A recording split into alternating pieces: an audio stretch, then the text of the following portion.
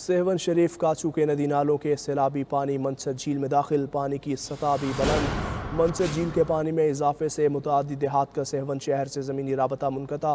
Seven शरीफ से आने वाली मुतद गाड़ियाँ सैलाबी पानी में फंस गई हैं। सैलाब की इस वक्त क्या सूरत हाल है, इमरान अली से जान लेते हैं। इमरान अली, बताइए।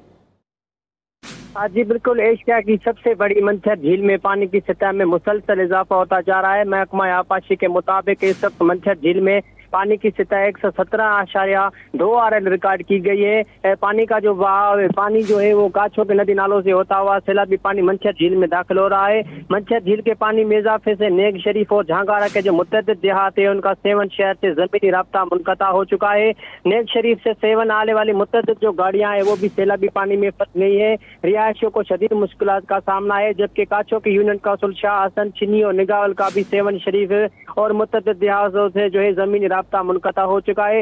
इस वक्त मंचर झील का जो सैलाबी पानी है वो दरिया सिंध में खारिज करना शुरू कर दिया गया है। अड़ल हेड और अड़ल टेल के नहर के ज़रिए जो मंशा झील का जो पानी है वो महकमा आपाशी के मुताबिक पाँच हज़ार क्यूसिक जो है वो दरिया सिंध में उसका जो है खराज जारी है।